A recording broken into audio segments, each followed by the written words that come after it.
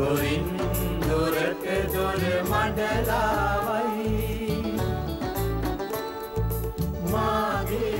අප නැවතත් දුරමඩලාව සමඟ විභාග සූදානම ගැන අප කතා කරන අපේ රටේ විභාග කොමසාරිස් ජනරාල්තුමා අද දුරමඩලාවට සහභාග වෙනවා.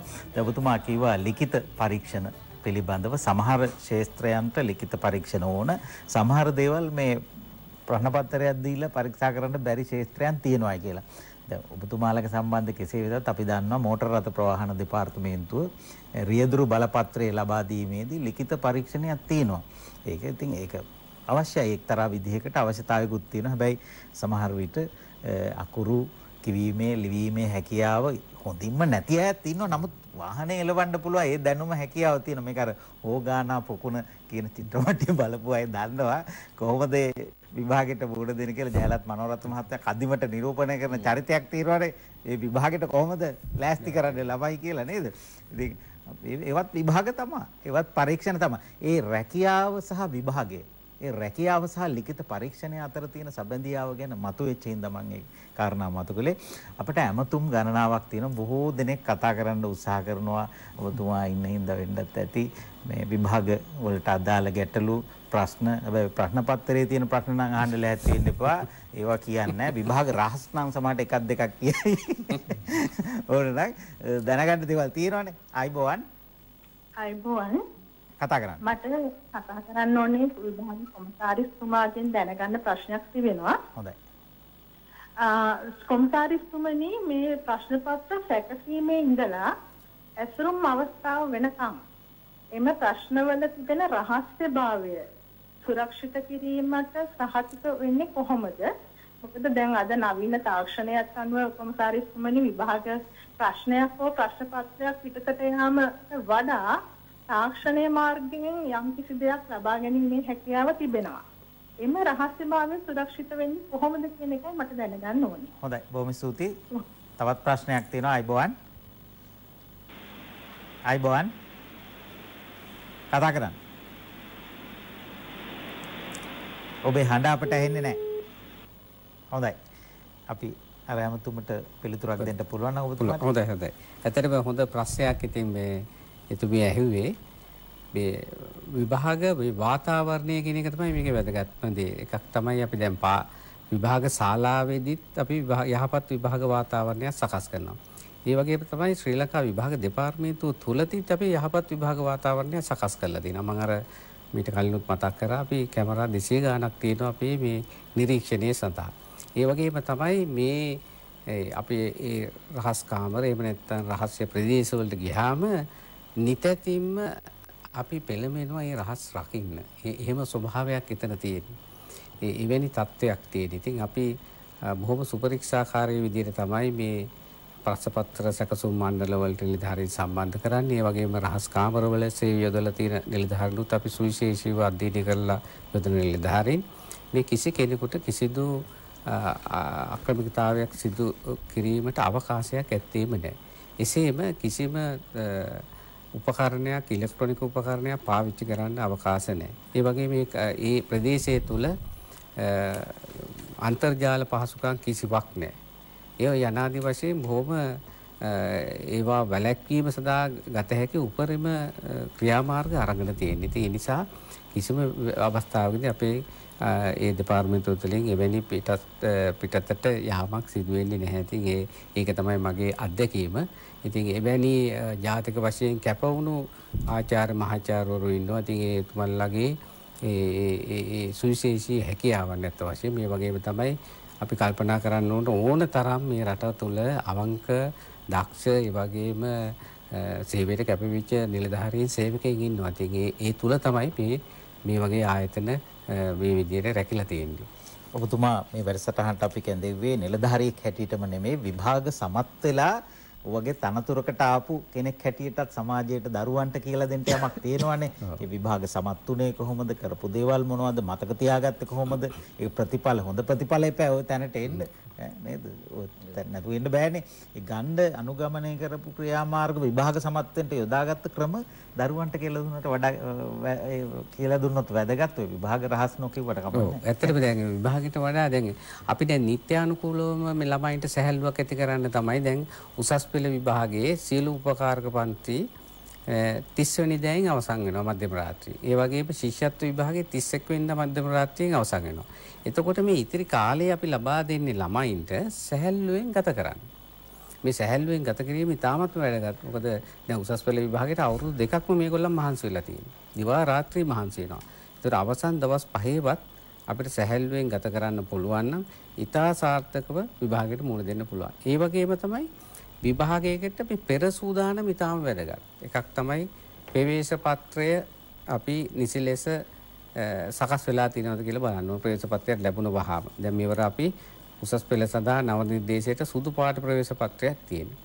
රෝස පාට ප්‍රවේශ පත්‍රයක් තියෙනවා පැරණි නිර්දේශය සඳහා. පැහැදිලිව හඳුනා ගන්න ඕන නිසා. ඉතිකොට මේ විභාග ශාලාත් වෙන් කරලා තියෙනවා ඒ ආකාරයටම නව සහ පැරණි වශයෙන්. එතකොට ප්‍රවේශ පත්‍රය බලන්න ඕනේ තමන්ගේ නම නිවැරදිද එහෙම නැත්නම් ඒ වගේම ඒ විෂය අංක නිවැරදිද කියන එක බලන්නට ඕනේ. ඒවා වෙනසක් වෙලා තියෙනවා වහම සකස් කරගන්නට ඕනේ. ඊළඟට පෑන පැන්සල යනාදී සූදානම්ව අරගෙන යන්නට ඕන. ඒ වගේම වැදගත්ම දෙයක් තමයි කල්මත්තේ විභාග ශාලාවට යාම. පැය භාගයකට කලින්වත් යන්නට ඕන. එහෙම අනිත් එක වර්තමානයේ මේ ප්‍රවාහන අපහසුතාව ඊළඟට කාලගුණ තත්ත්වය වරින් වර වෙනස් වෙනවා. දැන් අර එක දවසක් තියෙන තත්ත්වය නෙමෙයි පාරේ තියෙන්නේ. පහුගියද බලනකොට එදාට මහා ට්‍රැෆික් බ්ලොක් එකක් එන්න පුළුවන්. ඉතින් ඒ නිසා අපි ඒවා කල්පනා කරගෙන තමයි විභාග ශාලාවට යන්න පුළුවන්. එතකොට යහපත් මනසකින් විභාග ශාලාවට ගියාම පළවෙනි අදියර සාර්ථකයි. ඊළඟට අපි පැය 3 ප්‍රශ්න පත්‍ර සඳහා අතිරේක කාලයක් දීලා තියෙනවා. දැන් ගිය වර්ෂයේ ඉඳලා විනාඩි 10ක කාලයක් දීලා තියෙනවා. මේකෙන් අපි බලාපොරොත්තු වෙන්නේ එකක් තමයි මේ ප්‍රශ්න පත්‍රය හොඳින් කියෝලා බලලා ප්‍රශ්න තෝරා ගන්න ළමයින්ට ඉඩ සලසා දීම. ඒත් එක්කම අපේ යටි අරමුණක් තමයි ළමයි කලබලයකින් තොරව මේ ආතතියකින් තොරව මේ විභාග ශාලාවේදී විභාග ප්‍රශ්න පත්‍රයට මුහුණ දීමට මුල් විනාඩි 10 අපි ලබා දීලා තින්නේ ඒකටයි. එතකොට සැහැල්ලු මනසකින් යුතුව කටයුතු කරන්න පුළුවන් මේ මුල් විනාඩි 10 නිසල්ුනේ ගත කරලා ප්‍රශ්න හොඳින් කියවලා තෝරාගෙන. එතකොට මේ හොඳින් ප්‍රශ්න තෝරා ගැනීමත් ආරම්භයකට ඉතාම වැදගත් වෙනවා. දැන් සමහර විට දැන් අපි පුංචි කාලේ නම් අපි කලබලයට ප්‍රශ්න තෝරගෙන තමයි අපි දීලා තියෙන්නේ. සමහර වෙලාවට ගෙදර ගියාට පස්සේ දන්නේ හොඳ ප්‍රශ්නයක් මග ඇරිලා කියලා. නමුත් මේ විනාඩි අතිරේක ගෙවීම් කාලේ ඉතාමත් වැදගත් වෙලා තිනවා. පසුගිය විභාගයේ අත්දැකීම අනුව ශ්‍රී ලංකාවේදී අපි පළමු වරට තමයි මේ ක්‍රමවේදය අනුගමනය කරන්නේ. ඉතින් මේ යහපත් විභාග වාතාවරණයක් ලබා දීම තමයි අපේ පුළුල් පරමාර්ථයක එක පියවරක් තමයි ওই අතිරේක කියවීම් කාලයක්දී. මේ වගේම අපි දැන් ප්‍රශ්න පත්‍ර පොත් දෙන්නේ. ඔබට මතක ඇති ඒ කාලේ මේ මාගලක් වගේ දිග මේ පේපර්ස් දෙන්නේ. දැන් එහෙම නෙවෙයි ප්‍රශ්න පත්‍ර පොත් තියෙනවා. අපි ගාව ඔව් පුළුවන් දෙන්නන්න. මේ තියෙන්නේ කියන්නේ මේ සැරේ දෙන ප්‍රශ්න පත්‍රය නෑ මේ සැරේ දෙන එක නෙවෙයි පරණ ඒවා. මේ ඔක්කොම පොත් තියෙන්නේ දැන්. බොහොම ඒ වගේම ප්‍රශ්න පත්‍ර පොත් වගේම දිනය තියෙනවා කාලය තියෙනවා අපිට සමීප රූපයක් පෙන්වන්න පුළුවන් නම් යනාදී වශයෙන් තියෙනවා පොත්වල. ඉතින් මේ මේ මේක ඇත්තටම මේ ශිෂ්‍ය හිතකාමී විදිහට තමයි ප්‍රශ්න පත්‍ර සකස් කරලා තියෙන්නේ. ඒ වගේම ඔබට මතක ඇති ශිෂ්‍යත්ව විභාගය ගැන මතක් කරොත් ඊවරත් ශිෂ්‍යත්ව විභාගය අපි පැහැදිලි වෙනසක් කරා පළවෙනි පත්‍රයේ සහ දෙවෙනි පත්‍රයේ බොහොම දරුවෝ බොහොම කැමැත්තෙන් ශිෂ්‍යත්ව විභාගයට පෙනී සිටියේ. ඉතින් මේ සැරෙත් ඒ වගේම තමයි. හොඳ ප්‍රශ්න පත්‍ර කට්ටල දෙකක් පළවෙනි පත්‍රයට සහ දෙවෙනි පත්‍රයට ලැබෙනවා. ශිෂ්‍ය හිතකාමී විදිහට සකස් කරන්න අපි හුඟක් උනන්දු වෙලා තියෙනවා. ඉතින් ප්‍රශ්න පත්‍රයක මම හිතන්නේ අපේ ලංකාවේ තමයි මේ ප්‍රශ්න අමාරු කරන්න ඕන ප්‍රශ්න පත්‍ර අමාරු කරන්න ඕන කියන මතයක් අපි ගාව තියෙනවා. හැබැයි ලෝකේ වෙනත් රටවල් වල එහෙම නැහැ. දැන් අපි වෙනත් රටවල් වල දැනටමත් අපි අධ්‍යයනයක් කරනවා මේ විශේෂයෙන් ලන්ඩන් එක්සෑම්ස් කේම්බ්‍රිජ් එඩෙක්සෙල් වගේ eh, විභාගවල ප්‍රශ්නපත්‍ර සහ අපේ ප්‍රශ්නපත්‍රවල තියෙන eh, සමබරතාවය මොන ආකාරයේද කියන එක. කෙසේ වෙතත් හැබැයි මේ ප්‍රශ්නපත්‍රයක් සකස් වෙන්නේ විෂය නිර්දේශය අනුව. ඉතින් අපි ඒ පිළිබඳව දැන් අවධානය යොමු වෙලා තියෙනවා විශේෂයෙන් අධ්‍යාපන අමාත්‍යාංශයේ eh, විෂය භාර අමාත්‍යතුමා වශයෙන් අපේ අකිල විරාජ් කාර්ය සම්මෙතුමා ඒ වගේම අධ්‍යාපන ලේකම්තුමා ප්‍රමුඛ ජ්‍යෙෂ්ඨ නිලධාරීන් හැම කෙනාම මේ දිනවල ඒ පිළිබඳව අවධානය යොමු කරලා බලාපොරොත්තු වෙනවා ඉදිරියේදී මේ විෂය නිර්දේශවල තියෙන වර්ක්ලෝඩ් එක එහෙම නැත්නම් මේ අන්තර්ගතයේ යම් කිසි වෙනසක් කළ යුතුද කාරණේ පිළිබඳව අධ්‍යයනය කරමින් පවතින. ඒ වගේම අපේ පැත්තෙන් අපි ශ්‍රී ලංකා විභාග දෙපාර්තමේන්තුව වශයෙන් මේ අපි ඔබ කවුරුත් දන්නවා අපි ලන්ඩන් එක්සෑම්ස් වල ආభాසය ලැබලා තමයි මේ ලංකා O level සහ A level සකස් කරලා තියෙන්නේ. එහෙමනම් අපේ විභාගය ඇයි මෙතරම් අමාරු? ඇයි ලන්ඩන් එක්සෑම් ළමයි ලේසි කියලා කියන්නේ. ඉතින් ඒ ඒ ඒක ගැන අපි දැන් කරුණු අධ්‍යයනය කරමින් පවතිනවා. මොකද ඒගොල්ලන් තේමා යටතේ පාඨමාලා කියන්නේ විශේෂ නිර්දේශ සකස් කරලා තියෙන අපි ඊට වඩා වෙනස් ක්‍රමයක් අනුගමනය කරන්න ඉදිරියේදී ඉතින් අපිට පුළුවන් මේ ළමයින්ගේට තියෙන පීඩනය අඩු කරන්න එක දෙයක් තමයි විශේෂයෙන් මේ තියෙන වැඩ ප්‍රමාණය අඩු කිරීම සහ ප්‍රායෝගික ක්‍රියාකාරකම් වලට ළමයි යොමු කිරීම. දැන් පාසල වුණත් මීට වඩා ප්‍රායෝගික ක්‍රියාකාරකම් සඳහා යොමු වෙන්නට ඕන. ඒ වගේම තමයි ප්‍රායෝගික ක්‍රියාකාරකම් මැන බැලීම සඳහා වැඩපිළිවෙලක් යොදන්නට ඕන. ඉතින් මේ සඳහා තමයි ඉදිරියේදී අපි අනිවාර්යයෙන්ම අවධානය යොමු කළ යුතු වන්නේ විශේෂයෙන් පාසල් පාදක තක්සේරුව වගේ දේවල් අපිට ක්‍රියාත්මක කරන්න පුළුවන්. අපි බලාපොරොත්තු වෙනවා ශ්‍රී ලංකා විභාග දෙපාර්තමේන්තුවේ ප්‍රාදේශීය කාර්යාලය ඇති කරලා ඒවැ මෙහෙයවීම යටතේ මේ කටයුත්ත තවදුරටත් සංවර්ධනය කරන්න. මොකද අපි අවිශ්වාසයක් තියෙනවා සෑම විටම අපි පාසලේ ගුරුවරයෙක් ලකුණක් දුන්නොත් තක්සේරුවක් දුන්නොත් ඒක ගැන අපේ විශ්වාසයක් නැහැ. ඉතින් එහෙම කරන්න හොඳ නැහැ. අපි යම් යම්කිසි දුරකට විශ්වාසයක් ඇති කරන්නට ඕන.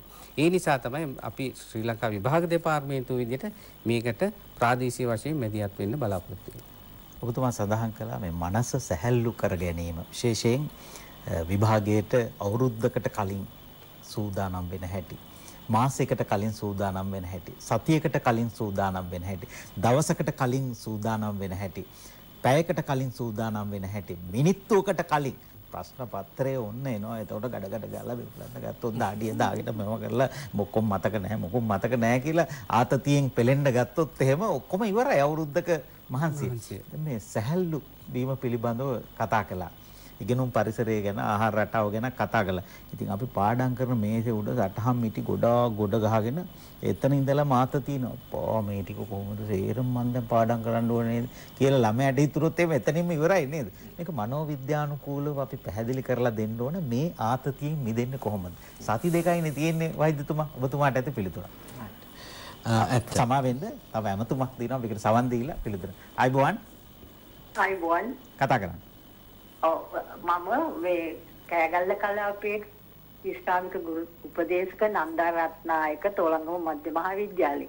ඉතින් මම ගරු කොමසාරිස්තුමාගෙන් අහන්න කැමති පේපර්ස් බැලිල්ල පිළිබඳව දැන් අලුත් මතයක් තියෙනවා මේ එක සැරයකින්ම එක්කෙනයි බලන්නේ කියලා. ඉස්සර තුන්දෙනෙක් බැලුවා. ඔව් ඉතින් ඒ පිළිබඳව මේ අගෝස්තු මාසය තුලම විභාග දෙකට ඒක බලපානවද? හොඳ ප්‍රශ්නයක් මම හිතන්නේ ඒක වැරදි අවබෝධයක් තියෙන්නේ. ඇත්තටම උත්තර පත්‍රයක් ඇගීමේදී පළමු පරීක්ෂකවරයෙක් ඉන්නවා. ඒ වගේම දෙවෙනි පරීක්ෂකවරයෙක් ඉන්නවා. ඊට අමතරව ඒ උත්තර පත්‍රේ ලකුණු කරාට පස්සේ ගණිත පරීක්ෂාව සඳහා තවත් පරීක්ෂකවරයෙක් ඉන්නවා. ඊටත් අමතරව ප්‍රධාන පරීක්ෂකයෙක් විසින් ඒ උත්තර පත්‍ර නියදයක් පරීක්ෂාවට ලක් කරනවා. ඉතින් ඒ ක්‍රමවේදය එසේම අපි ක්‍රියාත්මක කරනවා. ඒක තවදුරටත් වැඩි දියුණු කරලා මිසක් අපි ආපස්සට ගිහිල්ලා නැහැ. ඒ නිසා මම හිතන්නේ හොඳ වැඩපිළිවෙලක් දැට ශ්‍රී ලංකා විභාග දෙපාර්තමේන්තුව අනුගමනය කරනවා. ඔය ප්‍රතිඵල පිළිබඳව සෑහීමට පත් නොවෙච්ච අවස්ථාවල නැවත පරීක්ෂා කරන්න යවනවනේ නේද? එතකොට ප්‍රතිඵල වෙනස් වෙලා ආපුවා තියෙනවා නේද? ප්‍රතිඵල වෙනස් වීමක් තියෙනවා. දැන් ඒක මේ මිනිස් ස්වභාවය මත යම් යම් අවස්ථාවලදී වෙනස් වීම ඇති වෙලා තියෙනවා. ඒක නිසා තමයි ඒක අපි කල්මත්තෙම පිළි අරගෙන තමයි නැවත සමීක්ෂණය සඳහා දෙපාර්තමේන්තුව අවස්ථාව ලබා දීලා තියෙනවා. එතකොට නැවත සමීක්ෂණ වලින් පස්සේ ප්‍රතිඵල වෙනස් වෙනවා. ප්‍රශ්නේ තියෙන්නේ සැබෑ ඇදහිය නොහැකි ප්‍රතිඵලයක් තිබුණොත් තමයි නැවත සමීක්ෂණය සඳහා ඉල්ලුම් කළ යුතු වන්නේ. නමුත් වෙලා තියෙන්නේ මේ ඇදහිය නොහැකි ප්‍රතිඵලයක් තියෙන ඇත් ඉල්ලුම් කරනවා. ඊළඟට දෙමව්පියෝ රවට්ටන්න ඕන නිසාත් ඉල්ලුම් කරනවා ළමයි. ඊළඟට මේ සමහර උපකාරක පන්ති ගුරුවරුත් කියනවා මේ ඔබේ පුතාට හෝ දුවට මෙසේ වෙන්නට බෑ මේ නැව සමිශ්නේ දාලා බලන්නේ කියලා. ඔය යනාදී වශයෙන් තව සමහර ළමා කොට්ටාසයක් ඉන්නවා දෙයියගේ පිටෙන් හරි මේක වෙනස් වෙලාවොත් ලොකු දෙයක් නේ කියලා ඉල්ලුම් කරනවා. මෙන්න මේ හේතු හතර නිසා තමයි අපිට ගැටලුකාරී තත්ත්වයක් තියෙන්නේ. සැබෑ ලෙසම ඇදහිය නොහැකි ප්‍රතිඵලයකට මේ ඉල්ලුම් කරනවා නම් කිසිම ගැටලුවක් නෑ. අපි ඒ වගේම අපෙන් යම් කිසි අඩුපාඩුවක් අපේ පරීක්ෂකවරයෙක්ගේ අතින් සිද්ධ වෙලා තියෙනවා නම් ඒ දේ අපි නිවැරදි කරනවා. ඊටාම් පැහැදිලි ලෙස මම කියන්නට ඕන. අඩුපාඩුවක් වුණා නම් වැරද්දක් වුණා නම් ඒක සකස් කිරීම අපි අනිවාර්යයෙන්ම කරලා තියෙනවා. ඒක කරපු අවස්ථා තියෙනවා. ඒ නැවත සමීක්ෂණය කරද්දී පිළිතුරු පරීක්ෂා කරනවද නැත්නම් ඒ තියෙන ලකුණු එකතු කරලා බලලා එතන යමක් තියෙනවද කියලා බලලා නැත්නම් සම්පූර්ණ උත්තර පත්‍රයම පරීක්ෂා කිරීමක් වෙනවද? ඔව් සම්පූර්ණ උත්තර පත්‍රයේ පරීක්ෂා කිරීමක් කරනවා. එතකොට එකක් තමයි ඒ ඒ පිටුවල එකතුව නිවැරදිද කියලා බලනවා. ඊළඟට ඒ ඒ පිටුවලින් එකතුව අ, අරගත්තට පස්සේ මුල් පිටුවට ගෙන අ, නි- අ, නිවැරදි ලෙස ගෙනාවද. ඒ වගේම ඒ ප්‍රශ්න පත්‍රයට පිළිතුරු ලිව්වට පස්සේ ඒ ළමයි ලියපු ඒවා නිවැරදිව තක්සේරු කරාද. ඒ කියන්නේ ඒ අඩුවෙන්ද ලකුණු දීලා තින්නේ වැඩියෙන්ද ලකුණු දීලා තින්නේ. ඒ වගේම තමයි මගහැරිච්ච කොටස් තියෙනවද. ඔය යනාදී වශයෙන් එකම උත්තර පත්‍රයේ දෙන්නෙක් අවස්ථා දෙකකදී බලනවා. ඊට අමතරව අවසානයේදී දෙන්නගේම වාර්තා අරන් ප්‍රධාන පරීක්ෂකවරයා විසින් එහෙම නැත්නම් පාලක පරීක්ෂකවරයා විසින් තමයි අවසාන වශයෙන් තීරණ ගන්න. ඉතින් මේ මේ වගේ හොඳ වැඩපිළිවෙලක් තියෙනවා මේක අවංකව කරන බොහොම සත්භාවයෙන් කරන වැඩපිළිවෙලක්. ඉතින් ඒ නිසා තමයි සෑම නැවත සමීක්ෂණයකින්ම පස්සේ අපිට වෙනස් වීම් 0.1ක වගේ ප්‍රමාණයක් වාර්තා වෙනවා. හොඳයි. ඉතින් වෛද්‍යතුමා. හසන්තැවේ මගෙන් අ, ආතතිය පාලනය කරගන්නේ විභාගයට සූදානම් වෙන්නේ කොහොමද කියන එක. ඇත්තටම ආතතිය කියන එක විභාගයක් හමුවේ මතුවෙන එක ඉතාමත්ම ස්වභාවිකයි. ආතතිය එන එක ස්වභාවිකයි වගේම අවශ්‍යයි. අ, ආතතිය කියන එක විභාගයේදී විතරක් නෙවෙයි අපේ ජීවිතයේ සියලුම අභියෝග තර්ජන හමුවේ අපිට දැනෙන ඒක දැනෙන දේ අනුව අපින් නිකුත් වෙන ප්‍රතිචාරයක් තමයි ආතතිය. ඒ ආතතිය නිසා තමයි අපිට ඒ අභියෝගයට සූදානම් වෙන්න අවශ්‍ය කරන ශක්තිය. ඒ තර්ජනයට සූදානම් වෙන්න අවශ්‍ය කරන ශක්තිය අපි තුළ ගොඩ නැගෙන්නේ. ඒකට ඒක ඉතාමත්ම ස්වභාවික අපේ දියුණුව වෙනුවෙන් අපි තුළ ඇති වෙලා තියෙන ප්‍රතික්‍රියාවක්. දැන් මම මේ මේක ගන්න පුළුවන් නම් මේකට මේක පේනනවා ආතතිය එහෙම නැත්නම් ස්ට්‍රෙස් එක එහෙම නැත්නම් මේක විවිධාකාරයෙන් අපි කතා කරනවා. ඒකේ අපිට දකින්න පුළුවන් ඔව්. ඔව් ඒකේ දැන් මේ ස්ට්‍රෙස් එක කියන එක තමයි මේ x අක්ෂයෙන් පෙන්නලා තියෙන්නේ රයිට් ඊළඟට y අක්ෂයෙන් පෙන්නලා තියෙන්නේ කාර්යක්ෂමතාවය ස්ට්‍රෙස් එක එහෙම නැත්නම් ආතතිය වැඩි වෙනකොට කාර්යක්ෂමතාවය වැඩි වෙනවා එතකොට යම් කිසි මට්ටමකට ආතතියක් එන්න ඕනේ අපිට හොඳටම වැඩ කරන්න අපි හොඳටම දන්න දේ තමයි සාමාන්‍යයෙන් අපි විභාගයක් උදාහරණයකට ගත්තොත් විභාගයක අපි වැඩියෙන්ම වැඩ කරන්නේ විභාගයට ආසන්න කාල පරිච්ඡේදය. ඒ කාලේ තමයි අපිට දෙන්න අපිට ආතතිය තියෙන්නේ. ඊළඟට මේක දි- එදිනෙදා ජීවිතයට ගත්තමත් නිකන් උදේට අපි රැයට නිදාගත්තාම උදේට එලාම් එක තියලා නැගිටලා වැඩ ගොඩක් කරන්න හිතාගෙන නිදාගත්තට උදේට එලාම් එක වදිනකොටම අපිට මොනවද හිතෙන්නේ? තව චුට්ටක් කියලා නිදා ගන්න පුළුවන් නම් එහෙම තමයි හිතෙන්නේ. එතකොට ටිකක් වෙලා යනකොට තමයි අම්මට මතක් වෙන්නේ අද කරන්න තියෙන වැඩ ගොඩ.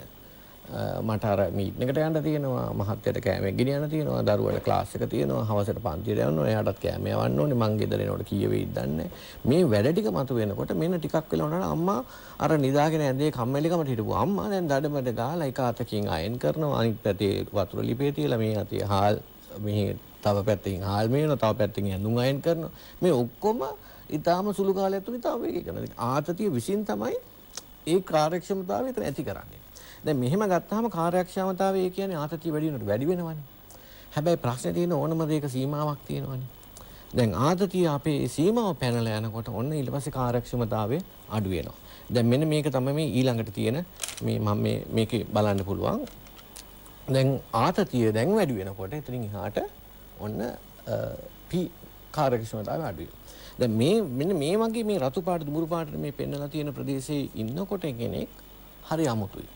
ඒ කියන්නේ අධික ත- ආතතියටපත් වෙලා පීඩනයටපත් වෙලා ඉන්නකොට කෙනෙක්ගේ යාට නොසන්සුන්.